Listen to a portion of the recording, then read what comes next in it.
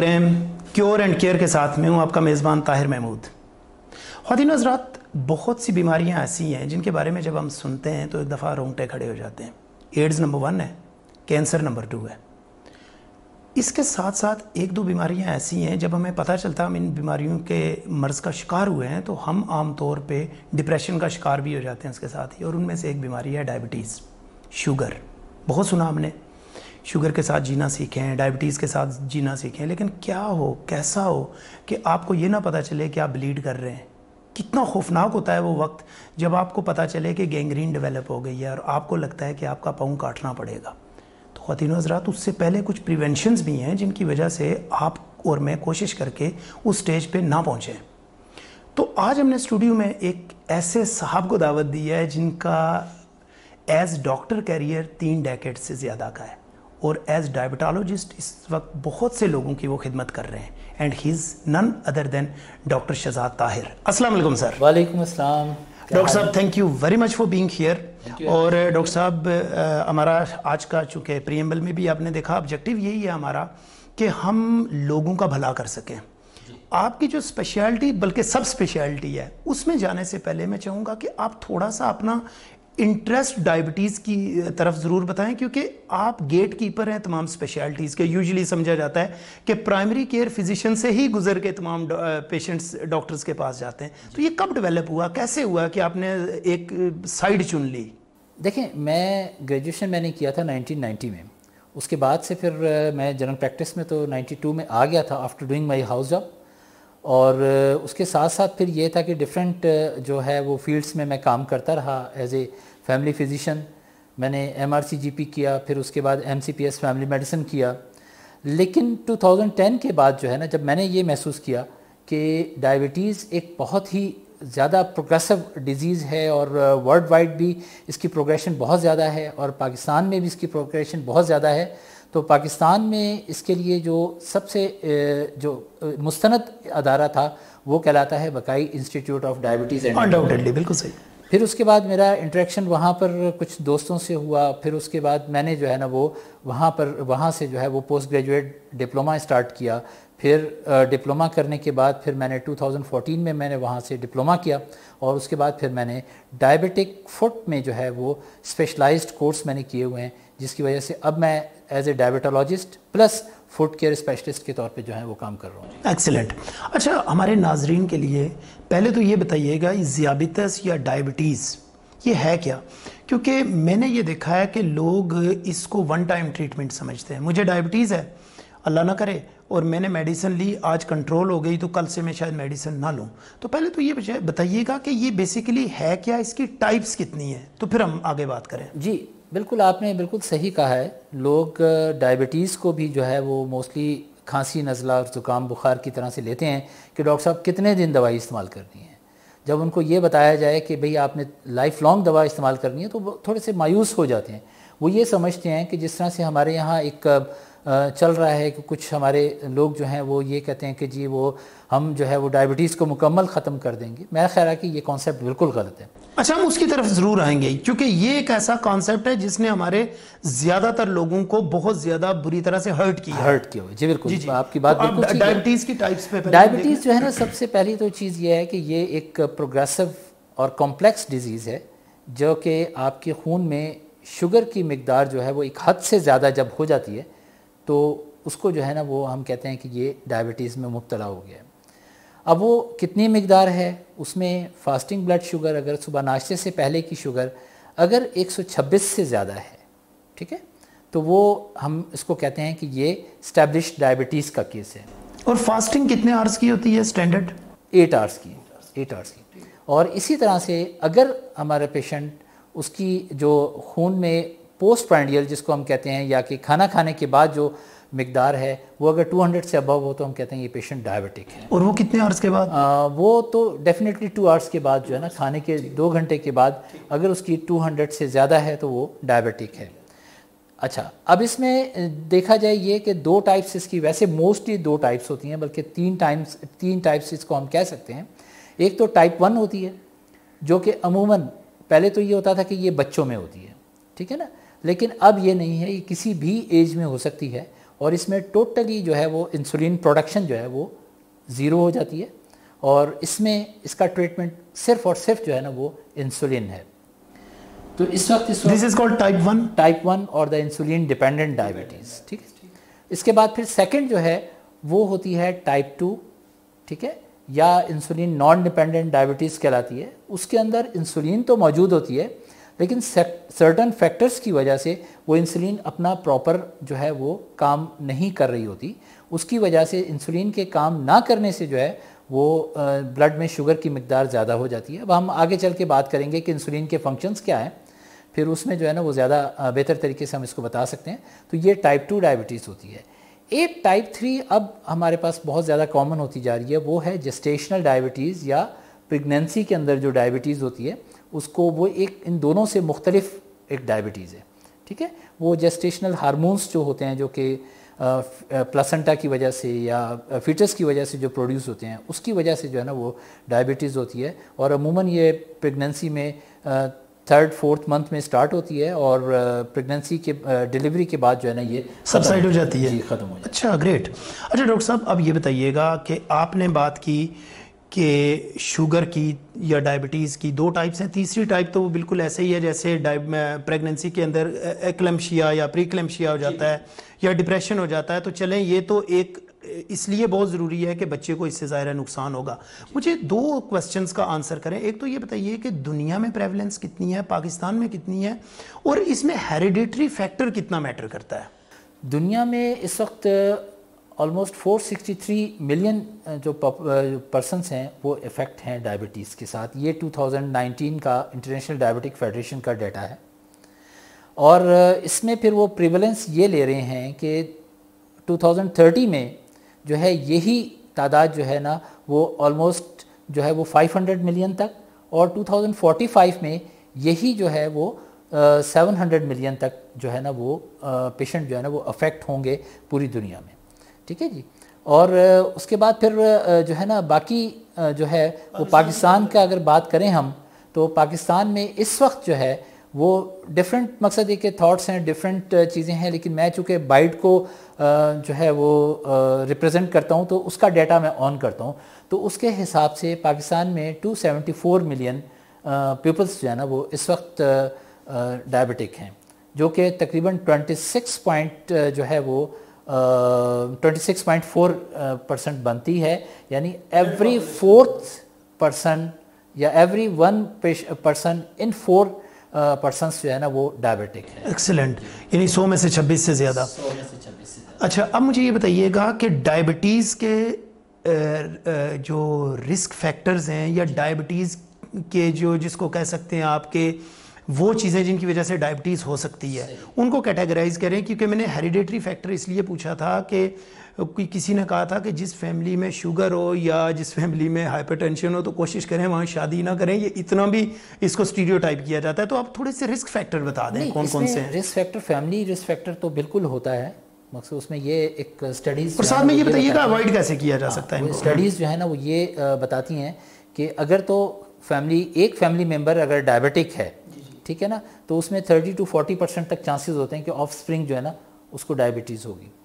लेकिन अगर दोनों फादर और मदर दोनों डायबिटिक हैं तो वहाँ पर फिर 90 परसेंट तक चांसेस हैं कि जो ऑफ़ स्प्रिंग्स हैं वो डायबिटिक डायबिटिक होंगे। और स्पेशली वो बच्चे जो कि जो है ना वो जिनकी बर्थ के दौरान या जिनकी डिलीवरी के दौरान प्रेगनेंसी के दौरान मदर को डायबिटीज़ हुई थी वो 100 परसेंट चांसेज़ होते हैं उनके कि वो डायबिटिक हो जाएँगे। ठीक है जी? अब इसके साथ साथ अगर ये देखा जी, ये तो वो चीज़ें हो गई। रिस्क फैक्टर्स में एक तो हेरिडिटरी रिस्क फैक्टर आ गया। ये तो इसको हम चेंज नहीं कर सकते। उसके अलावा हमारा जो लाइफ है, वो सबसे बड़ा इंपॉर्टेंट चीज़ है। स्मोकिंग सबसे बैड हैबिट्स इसकी हैं। उसके बाद फिर दूसरे नंबर पे सेडेंट्री लाइफस्टाइल फिर उसके बाद हमारी ईटिंग हैबिट्स जो है ना, वो इस वक्त बहुत ज़्यादा जो है ना, वो सफ़र कर रही हैं। हमारी ईटिंग हैबिट्स में हम बहुत ज़्यादा जंक फूड्स ले रहे हैं बहुत ज़्यादा सॉफ्ट ड्रिंक्स ले रहे हैं। उसके बाद फिर हम जो है रूटीन नहीं है खाने की। हमारा खाने का नहीं है। किसी वक्त भी जो है ना वो जो है वो हम खाना खा लेते हैं और कोई वो प्रॉपर वे नहीं है। और उसके अलावा जो है ना हमारा जो स्लीपिंग हैबिट है ना वो भी सबसे ज़्यादा काउंटर करते हैं। अब जो आईडीएफ इस पर भी बहुत ज़्यादा ज़ोर देता है कि जो सेवन टू एट आवर्स की स्लीप है वो एक हेल्दी लाइफ के लिए बहुत ज़्यादा ज़रूरी है। हमारे यहाँ हमने बिल्कुल उल्टा कर दिया हुआ है। सारी रात जागते हैं सारा दिन सोते हैं। बिल्कुल सही। ठीक है? तो उसकी वजह से जो है ना ये सारी चीज़ें जो है रिस्क फैक्टर्स में आती हैं। बिल्कुल सही। सिम्टम्स क्या होते हैं डायबिटीज़ के? डायबिटीज़ के बाद दफ़ा तो पेशेंट एक्सीडेंटली हमारे पास आते हैं और उनकी हम शुगर जब चेक करें तो वो डायबिटिक मकसद है कि वहाँ पर उनकी शुगर जो है ना वो हाई होती है। लेकिन जो पेशेंट हमारे पास आते हैं? Without any symptom without any symptom भी आ सकते हैं। बाज़ दफ़ा पेशेंट्स हमारे पास आते हैं जी लेग्स पेन है हम्म, हम्म। ठीक है ना वीकनेस ही महसूस हो रही है। तो ये उस वक्त भी हम डायबिटीज़ अगर शुगर चेक करें तो वो डायबिटीज़ उनकी वहाँ पर भी पॉजिटिव होती है। पॉजिटिव होती है। उसके अलावा जो है उसमें प्यास ज़्यादा लगना भूख ज़्यादा लगना अनएक्सप्लेन्ड वज़न का कम होना ये मोस्ट इंपॉर्टेंट चीज़ें हैं जिस जो कि मकसद कहा जाता है कि जिसको कि हम फ़ौर वो करते हैं पेशाब का ज़्यादा आ जाना ये सारी चीज़ें जो है ना वो डायबिटीज़ के सिम्टम्स में शुमार होती हैं। बिल्कुल सही। अच्छा आपने बात की थी शुरू में कि यहाँ अतायत तो इस मुल्क में बहुत कॉमन है तो आपने बात की थी कि लोग ये कहते हैं शुगर ख़त्म हो जाएगी। मुझे बताइए कि ये जो ट्रीटमेंट चैलेंजेस हैं ये कितना बड़ा चैलेंज है कि जब आपके पास आके मरीज़ आपसे ये पूछता है कि डॉक्टर साहब, आपने शुगर के अंदर इतना काम किया डायबिटीज़ में तो आपको ये नहीं पता कि ये एक ही खुराक खाने से ख़त्म हो जाती है? हाउ इट फील्स अब इसमें देखिए, सबसे बड़ा चैलेंज तो हमारे पास ये चीज़ तो है ही है। हमारे पास थोड़ा सा लिटरेसी रेट भी ज़्यादा फैक्टर हो। लोग इस चीज़ को समझने को तैयार नहीं है। लोग इस चीज़ को कि भाई डॉक्टर, अगर हम डॉक्टर के पास आए हैं, उसने हमें डायबिटीज़ बताई है तो डायबिटीज़ का फ्यूचर क्या है? वहाँ पर पेशेंट को एक्सप्लेन करना पड़ता है। उसका जहाँ पर अनएजुकेटेड पेशेंट होगा, वहाँ पर उसका फैमिली मेंबर्स को हम जो है ना, वो एक्सप्लेन करते हैं कि यार ये लॉन्ग लाइफ जो है ना, वो अपना क्या नाम है, उसका एक डिज़ीज़ है। इसको आपने कंट्रोल करना है through lifestyle through medication through injectable अगर है, इंसुलिनस हैं तो वो नहीं मकसद तो ये चीज़ें जो है ना वो जाहरी बात है। फिर उसके बाद तो बेसिकली आपकी बात में काट रहा हूँ कि ये एक पैकेज है। आपने नॉन फार्माकोलॉजिकल ट्रीटमेंट इंश्योर करनी है तब जाके आपकी मेडिसिन काम करेगी। मेडिसिन काम आप अगर वन साइडेड रहेंगे मेडिसिन काम करवाने की मतलब मेडिसिन देंगे सेडेंट्री लाइफ होगा आपका आप वो चीज़ें फॉलो नहीं करेंगे जिनकी वजह से आप अवॉइड कर सकते हैं डायबिटीज़ को तो ये ज़्यादा बड़ा चैलेंज बन जाता है। क्योंकि वो कहेंगे मेडिसिन से भी फ़र्क नहीं पड़ा जी बिल्कुल मोस्ट इंपॉर्टेंट जो इसमें फैक्टर जो कि मैनेजमेंट में आता है वो लाइफ सबसे पहली चीज़ है लाइफ लाइफस्टाइल लाइफ स्टाइल में आपने अपनी डाइट बेहतर करनी है स्मोकिंग सेजेशन करनी है, आपको ब्लड प्रेशर अगर है तो उसको आपने कंट्रोल करना है, उसके बाद फिर डिस्लिपिडीमिया अगर आपका कोलेस्ट्रॉल बढ़ा हुआ है, उसको कंट्रोल करना है। उसके साथ साथ फिर अपने अपने डाइटरी हैबिट्स को आपने चेंज करना है। अगर आप बहुत ज़्यादा मकसद खाना ले रहे हैं तो डेफिनेटली उसको फिर हज़म करने के लिए भी जो है ना, वहाँ पर मकसद ज़्यादा इंसुलिन की ज़रूरत होती है। फिर उसके बाद, फिर आपका वेट अगर है, उसको भी, आपको वेट को भी रिड्यूस करना है थ्रू एक्सरसाइज थ्रू वॉकिंग और द ब्रिस्क वॉकिंग और इंटेंसिव एक्सरसाइजेज आपने उसको डेफिनेटली सर्टन अब आईडीएफ जो है, वो ये कहता है कि आपको at least at least half hour in a day और 150 मिनट्स जो है ना, वो आपको पर वीक एक्सरसाइज करनी है जिससे कि आपका वेट रिड्यूस होगा और उसके बाद आप जब आपका वेट रिड्यूस होगा तो आपका डेफिनेटली जो है ना वो डायबिटीज़ अच्छा, लेवल शुगर लेवल कैच है आपने ये कहा था कि इसमें weight reduction sudden weight reduction भी रिपोर्ट होता है तो उस बेचारे का वेट तो ऑलरेडी कम है उसके लिए क्या कहते हैं आप? वेट रिडक्शन एक अलग चीज़ है ठीक है ना? उसमें जो बॉडी फैट है ना वो उसका कम हो रहा है। हमारे पास जो मेन अब इस वक्त जो है ना पहले तो कह कहा यही गया था कि मोटा आदमी जो होता है उसको शुगर होती है लेकिन ऐसा नहीं है। जो विसरल वेट है ना जो विसरल वेट है विसरल फैट है वो सबसे ज़्यादा इंपॉर्टेंट फैक्टर है। ठीक है ना? अभी पिछले दिनों एक इन्होंने स्टडी की थी जैपनीज जो वो एक रेसलिंग होती है वहाँ पर। हम्म, तो उसमें सोमो सोमो रेसलर्स बहुत ज़्यादा बहुत ज़्यादा वेट होता है लेकिन वो उनमें देखा था कि डायबिटीज़ नहीं थी। क्योंकि उसमें विस्ट्रल फैट नहीं था उनका। ओके। ठीक है ना? जो विस्ट्राज हैं जो ऑर्गन्स हैं उसके ऊपर जब फैट आता है ना उसकी वजह से इंसुलिन रेजिस्टेंस बढ़ता है। इंसुलिन रेजिस्टेंस बढ़ने से जो है ना वो फिर ज़ाहिर बात है कि इंसुलिन अपना काम नहीं करेगी तो डायबिटीज़ जो है ना वो ग्लाइसेमिक लेवल इंक्रीज हो जाएँगे। ये वजह होती है। ठीक है। वो ये बताइएगा डॉक्टर साहब कि अगर डायबिटीज़ को अनट्रीटेड छोड़ा जाए या किसी को पता ना हो इसकी कॉम्प्लिकेशंस क्या है? डायबिटीज़ वैसे तो अगर देखा जाए तो मैं जब एक्सप्लेन करता हूँ तो मैं यही बताता हूँ कि फ्रॉम हेड टू टो हर जिसम का हिस्सा जो है ना डायबिटीज़ से इफ़ेक्ट होता है। इसमें हम इसको अगर डिवाइड करना चाहें तो माइक्रोवेस्कुलर और माइक्रोवेस्कुलर कॉम्प्लिकेशंस में कर सकते हैं। माइक्रोवेस्कुलर कॉम्प्लिकेशंस में आपका स्ट्रोक आ जाता है हार्ट अटैक आ जाता है और मकसद देखिए ये मोस्ट इंपॉर्टेंट चीज़ें हैं। और जबकि माइक्रोवेस्कुलर्स में जो है ना, उसमें आपके किडनी फेलवर भी आ जाएगा। ठीक है? आपका जो है वो जो डायबिटिक फुट जिसको हम कहते हैं कि पाँव पे जख्म हो गया और फिर गैंग्रीन वगैरह और ये गैंग्रीन वगैरह ये सारी चीज़ें आ जाती हैं। और एम्पुटेट करना पड़ता है। बिल्कुल सही। अच्छा कितना फैटल है? डायबिटीज़ अनट्रीटेड हो तो। डेफिनेटली उसमें तो फैटल इस लिहाज से है कि ये अगर अनट्रीटेड डायबिटीज़ होगा तो खाली डायबिटीज़ तो नहीं आता ना। उसके साथ फिर और बहुत सारी चीज़ें आ जाती हैं। वहाँ पर उसका लिपिड प्रोफ़ाइल जो है ना, वो डिफरेंट वो हो जाएगा। प्लेक फॉर्मेशन बहुत ज़्यादा हो जाएगी। हार्ट अटैक के चांसेस ऑलमोस्ट ऑलमोस्ट जो है ना, वो हंड्रेड परसेंट जो है ना, वो इंक्रीज़ हो जाते हैं। अच्छा थियोरेटिकली सेइंग कोई लिंक है बिटवीन डायबिटीज़ एंड एथेरोस्क्लेरोसिस जो हो जाता है? लाजमी बात है क्यों नहीं है? ये सारा का सारा जो है ना एक आप इसको अगर इंटरलेटेड सिस्टम है। इंटरलेटेड सिस्टम है। इनको इसमें ब्लड वेसल्स में जो है ना वो ऐसी चेंजेस आती हैं जिसकी वजह से जो है ना वो एथेरोमा फॉर्मेशन हो जाता है। उसके बाद फिर हार्ट मसल्स के अंदर भी डिफरेंट चेंजेस आती हैं। मायोपैथीज कार्डिक मायोपैथीज हो जाती हैं वहाँ पर और ये सारी चीज़ें अच्छा ट्रीटमेंट की तरफ़ जाने से पहले जो सबसे इंपॉर्टेंट इस वक्त डायबिटीज़ के अंदर रोल वाइटल रोल प्ले करती है वो इंसुलिन करती है। हम इंसुलिन के बारे में थोड़ा सा आपसे हाँ, समझना चाहेंगे। देखिए एक ये हार्मोन है जो कि जो लबलबा है जिसको हम पेंक्रियाज कहते हैं वो प्रोड्यूस करता है। उसका एक मकसद अलग एक्शन होता है। इसमें दो टाइप्स की इंसुलिन प्रोड्यूस की जाती हैं, जो कि जिसमें अगर हम कहा जाए कि एक बोलन्स इंसुलिन होती है, जो कि खाना खाने के फ़ौर खाना खाते ही जो है ना वो इंक्रीज़ होती है, उसका लेवल इंक्रीज़ होता है और उसके बाद फिर आपको खाने को जो है ना वो लेवल को मेंटेन करके वहाँ पर जो इंसुलिन जो आपकी शुगर बढ़ती है उसको मेंटेन करके उसके बाद फिर वो आ जाता है। एक इंसुलिन का लेवल जो होता है ना, वो होता है जो कि ट्वेंटी आवर्स तक रहता है। यानी आप जब फास्टिंग में हैं आप खाना नहीं खा रहे हैं उस वक्त वहाँ पर भी थोड़ा बहुत आपका जो शुगर लेवल आपका जो है उसको मेंटेन रखने के लिए वो इस तरीके से। तो इंसुलिन एक्चुअल बेसिकली हार्मोन है इसका जो काम है वो ये है कि ये जिस जो आ, शुगर जो आपके जो आप कहें उसको या आ, मिठास कहें या जो आपके जो शुगर पार्टिकल्स हैं ये जब जिसम के अंदर आ, आते हैं खाना खाने के बाद जब खून में इसकी मकदार तो बढ़ती है करके टारगेट तो वो इसको इंजन की तरह से काम करते हैं उसको लेके और उसके बाद टारगेट ऑर्गन्स उसके मसल्स है लिवर है और ब्रेन है वहाँ पर जाकर माइक्रो लेवल पर डिलीवर करता है जाके। बिल्कुल सही। डॉक्टर साहब अब आते हैं हम ट्रीटमेंट्स की तरफ़।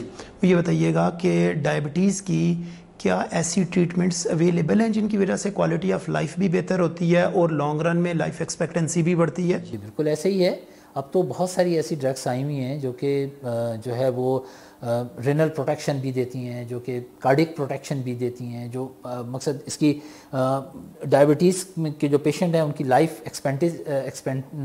एक्सपेंटेंसी को भी मकसद देखिए बहुत ज़्यादा बढ़ाती हैं। लेकिन अगर हम जब बात करते हैं ट्रीटमेंट की तो it's not treatment it's management बिल्कुल सही बिल्कुल सही ये समझना बहुत ज़रूरी है। डिज़ीज़ मॉड्यूलेट नहीं होगी। मॉड्यूलेटरी नहीं है। यहाँ पर सबसे पहली बात है कि आपको सबसे पहली चीज़ जो करनी है वो अपना लाइफ जो है वो अपना वो एक लाइफस्टाइल चेंज करना है। आपको स्मोकिंग अगर हैबिट है तो स्मोकिंग को आपको छोड़ना सेट है करें। आपने सेडेंट्री लाइफस्टाइल है तो आपको सेडेंट्री लाइफस्टाइल को आपको चेंज करना है। उसके बाद फिर आप अपने अपनी डाइटरी हैबिट्स को जो है ना वो चेंज करना है। कुछ चीज़ें ऐसी हैं जो कि आपको नहीं इस्तेमाल करनी है उसके अलावा आप अपना स्लीप हाइजीन को आप देखेंगे साउंड स्लीप आपको सोएँगे माइंड आपका फ्रेश होगा तो ये सारी चीज़ें जो है ना वो आ जाएँगी। उसके बाद फिर जो है ना वो हम, अगर तो पेशेंट टाइप टू डायबिटीज़ है तो वहाँ पर फिर हम एक ड्रग से शुरू करते हैं, ठीक है? और उसको तीन महीने तक हम वो ड्रग देते हैं। लाइफ प्लस एक ड्रग तीन महीने तक ड्रग दी, उसका दोबारा एच बी ये एक टेस्ट होता है, जिससे कि हम गुजशत चार महीने का एक एवरेज पता कर लेते हैं कि चार महीने से इसका जो है ना वो क्या लेवल शुगर लेवल जो है ना वो क्या जा रहा है। क्या ये पहली दफ़ा प्रेजेंटेशन पे भी करते हैं? या कहीं आफ्टर मेडिकेशन करना चाहिए? इसको हम फ़र्स्ट टाइम जब पेशेंट हमारे पास आता है और आपको लगता है सिंपल टेस्ट से स्विफ्ट टेस्ट से कि इसका शुगर इंक्रीज है तो फिर ये H B A one C उस वक्त भी करना H B A one C हम करवाते हैं तो हमें पता चलता है कि कितने अरसे से इसका ब्लड शुगर लेवल जो है ना कब से ज़्यादा बढ़ा हुआ है। ठीक है जी? उसके बाद फिर टू ड्रग्स पे आ जाते हैं टू के बाद फिर थ्री मंथ्स के बाद अगर वेट करें थ्री ड्रग्स पे या फोर ड्रग्स पे आके फिर उसके बाद जो है ना अगर पेशेंट फिर भी कंट्रोल नहीं होता फिर हम इंसुलिन पे लेके आते हैं। लेकिन वहाँ पर एक कॉन्सेप्ट यही है पेशेंट्स का कि भाई अगर इंसुलिन शुरू करवाई है तो मेडिकेशन नहीं नहीं ऐसा नहीं होता। मेडिकेशन भी साथ साथ चलती है साथ इंसुलिन भी चलती है ये टाइप टू की बात कर रहा हूँ। जबकि टाइप वन में from the very first day हम उसको जो है वो इंसुलिन पे लेके आते हैं। और इंसुलिन पे ही उसको मेंटेन रखते हैं। उसमें चार टाइम उसको इंसुलिन दी जाती है हर खाने के साथ, क्योंकि वहाँ पर जो है ना वो इंसुलिन मौजूद नहीं है। तो खाना खाने के बाद जो शुगर लेवल बढ़ेगा उसको कंट्रोल करने के लिए हमें एक जो है ना वो बोलस इंसुलिन की ज़रूरत पड़ेगी। सही। और बाकी जो 24 फोर आवर्स को कंट्रोल करने के लिए हम बेजल इंसुलिन इस्तेमाल करते हैं जो एक टाइम हम रात में लगाते हैं उसके बाद हर खाने से पहले या एटलीस्ट एटलीस्ट मेजर मील से पहले हमें इंसुलिन जो है ना वो देना पड़ती है। बिल्कुल सही। डॉक्टर साहब यहाँ ट्रिवियल क्वेश्चन ये है कि मुझे ये बताइएगा कि जब हम बात करते हैं इन पेशेंट्स की जो डायबिटीज़ के साथ आपके पास आते हैं आम तौर पे जब आप इन्हें ट्रीट कर रहे होते हैं तो आप चाहते हैं कि कोई ये अपनी मैनेजमेंट पूरे दिन की करें और ये हमें बताएँ कि किस तरह चल रहा है। क्या पेशेंट फॉलो करता है इन इंस्ट्रक्शंस को? कितने परसेंट करता है? क्योंकि आप तो ये चाह रहे होते हैं ना कि मैं ये देखूँ कि 24 फोर आवर्स में वन ड्रग के साथ कंट्रोल कितना रहा है। टू ड्रग्स के साथ कितना रहा और थ्री के साथ ताकि मैं ट्राई टाइट्रेट करते हुए एक ऐसा कॉकटेल बना दूँ जिससे इसकी लाइफ अच्छी गुजरे और क्वालिटी ऑफ़ लाइफ बेहतर हो। इसमें कितना आपके साथ कॉपरेट करते हैं और कितना मुश्किल होता है? देखिए इसमें दो तीन फैक्टर्स आ जाते हैं पेशेंट के ना। एक तो सबसे बड़ी बात मैंने पहले भी कहा उसका एजुकेशन लेवल जो है ना लिटरेसी लेवल जो है उसका वो बहुत ज़्यादा मकसद काम हम्म। करते हैं। उसके बाद फिर सेकंड उसके फैमिली मेंबर्स का एटीट्यूड उसका बिहेवियर पेशेंट का बिहेवियर पेशेंट अगर डायबिटीज़ कंट्रोल भी करना चाह रहा है लेकिन उसका जो पेशेंट का जो रिलेटिव हैं या मकसद अगर फ़र्ज़ करें कि एक खातून है उसके हस्बैंड जो है वो नहीं चाहता कि ये दवाइयाँ ज़्यादा इस्तेमाल करें। ठीक है ना? तो वो उसमें ज़ाहरी बात है कि वो फैक्टर आ जाता है। लेकिन मोस्टली जब पेशेंट को समझाया जाता है क्योंकि अब ये डायबिटीज़ खाली एक डायबिटोलॉजिस्ट का काम नहीं है। यहाँ पर ये टीम हम, पूरी टीम साथ लेके चलते हैं। हमारे पास डायबिटिक एजुकेटर भी होता है, हमारे पास फ़ूड जो है ना फुट जो है वो एक्सपर्ट भी होता है, हमारे पास कार्डियोलॉजिस्ट की भी मदद हम हासिल करते हैं, हम नेफ्रोलॉजिस्ट की भी मदद हासिल करते हैं। तो ये टीम वर्क होता है। डायबिटिक एजुकेटर अब बहुत ज़्यादा जो है ना, वो इंपॉर्टेंट चीज़ हो गई है in the management of diabetes क्योंकि डॉक्टर के पास इतना टाइम नहीं होता कि वो ईच एंड एवरीथिंग समझा सके। तो वहाँ पर फिर हम ये होता है कि हम सेशंस करते हैं पेशेंट्स के। बाज़ दफ़ा तीन चार पेशेंट इकट्ठे हो जाते हैं तो एजुकेटर को कह देते हैं कि भाई आप इनको पूरा लाइफ स्टाइल से लेकर और पूरी मेडिसिन सारा मकसद कि मैनेजमेंट समझाएँ। और बाज़ दफ़ा ये होता है कि इंडिविजुअली भी हम पेशेंट को जो है ना वो एजुकेटर के पास भेज देते हैं कि जी आप अब इसको समझाएँ। तो पेशेंट को जब प्रॉपर एजुकेशन दी जाए तो पेशेंट कॉपरेट करता है। उसको बता दिया जाए कि आउटकम्स क्या होंगे अगर आपके अनकंट्रोल्ड डायबिटीज़ है तो उसका आउटकम्स क्या होंगे। तो पेशेंट ये चीज़ें समझ जाते हैं। वंडरफुल डॉक्टर साहब मुझे ये बताइएगा आखिर आखिरी क्वेश्चन से पहले एक क्वेश्चन है। मैंने गायनकोलॉजिस्ट का इंटरव्यू किया ऑनकोलॉजिस्ट का किया मेडिकल स्पेशलिस्ट का गैस्ट्रोएंट्रोलॉजिस्ट का कार्डियोलॉजिस्ट का सब और अतः के डर्माटोलॉजिस्ट का। सब एक बात कहते हैं वो ये कहते हैं कि यार junk food should not be use it should be avoided doctor साहब इसके बावजूद हमारे माशरे में खाई हो जा रही है। डॉक्टर साहब वाई बस वो डेफिनेटली अब हमारा एक चीज़ हो गई। मैं एक एग्जांपल छोटी सी देता होता हूँ कि हम जब छोटे होते थे तो शायद हमें ईद के ईद जो है ना वो हम कोल्ड ड्रिंक्स लिया करते थे। आपको भी वक्त पता होगा। ग्रेट अब हमारे टेबल पे जब तक कोल्ड ड्रिंक नहीं है तो हमारा टेबल कंप्लीट नहीं है। हमारा टेबल कंप्लीट नहीं ग्रेट ठीक है ना? तो ये चीज़ें अब ज़ाहिर बात है कि वो उसको इतना वो इतना नुकसानदेह है इतना नुकसानदेह है और हर स्पेशलिटी का डॉक्टर बता रहा है। और आपने भी यही कहा कि यार जंक फ़ूड मैटर्स और लॉट इसके अंदर इसका बहुत बड़ा कंट्रीब्यूशन है डायबिटीज़ डेवलपमेंट में। तो डॉक्टर साहब क्या कोई ऐसी अवेयरनेस कैंपेन नहीं होनी चाहिए पब्लिक में? या आप समझते हैं कि मल्टा नेशनल्स ने इस तरह से हमारी इकोनॉमी को जखड़ा होता है कि हम कुछ कहने जो गई नहीं होती? ये बात भी है थोड़ा सा एक तो लोगों का हमारे पास बाज़ दफ़ा ये होता है कि लोग अब फ़र्ज़ करें कि मैं अभी मकसद है कि अपनी जॉब से आया हूँ मैं घर नहीं जाऊँगा मैं मैं डेफिनेटली कोई ऐसी चीज़ ले लूँगा जो मैं चलते फिरते खा सकूँ। वो ये जंक फूड्स ही होंगे ना जो आप चलते फिरते खाएँगे ठीक है ना? तो ये चीज़ें वैसे तो होना चाहिए कि इन पे हम तो गवर्नमेंट बल्कि अभी पिछले दिनों मैंने एक लेटर देखा था जो कि पाकिस्तान एंडोक्राइन सोसाइटी ने गवर्नमेंट ऑफ़ पाकिस्तान को लिखा था। उसमें उन्होंने ये लिखा था कि आप सॉफ्ट ड्रिंक्स और जो है ना ये जो जंक फूड्स हैं इन पे स्पेशल टैक्सेस लगाएँ। ताकि लोगों का रुझान उस तरफ़ कम हो। हम्म, हम्म। ये एक लेटर बाकायदा पाकिस्तान एंडोक्राइन सोसाइटी ने गवर्नमेंट को लिखा है। ठीक है ना? तो वैसे तो होना चाहिए इन चीज़ों को अवॉइड करना और ये सारी चीज़ें ना। लेकिन बात वही आ जाती है कि एक जब ऐड चल रहा हो कि किचन को ताला लगाओ और फ़ूड पांडा को बुलाओ तो फिर तो यही चीज़ें चलेंगी। बिल्कुल सही कह रहे हैं। डॉक्टर साहब मैं चाहूँगा कि आखिर पे आप अपने नाजरीन को जो आपको सुन रहे हैं और जो आपको देख रहे हैं, उनको ये मैसेज डायबिटीज़ के हवाले से ज़रूर दें। दो चीज़ें इसमें ऐड करके मैसेज दीजिएगा। अगर पेशेंट को कहीं हाइपरग्लाइसीमिया का सिम्टम आता है, वो क्या और उस वक्त इमीडिएट आप तो नहीं पास होंगे? क्या मैनेजमेंट हो? और अगर उसी पेशेंट को हाइपोग्लाइसीमिया हो तो उसकी मैनेजमेंट क्या है? तो ये अपने मैं चाहूँगा ऐड करके मैसेज दी अच्छा इसमें सबसे पहले तो बात मैं जो करूँगा, वो हाइपर और हाइपोग्लाइसीमिया की बात करूँगा।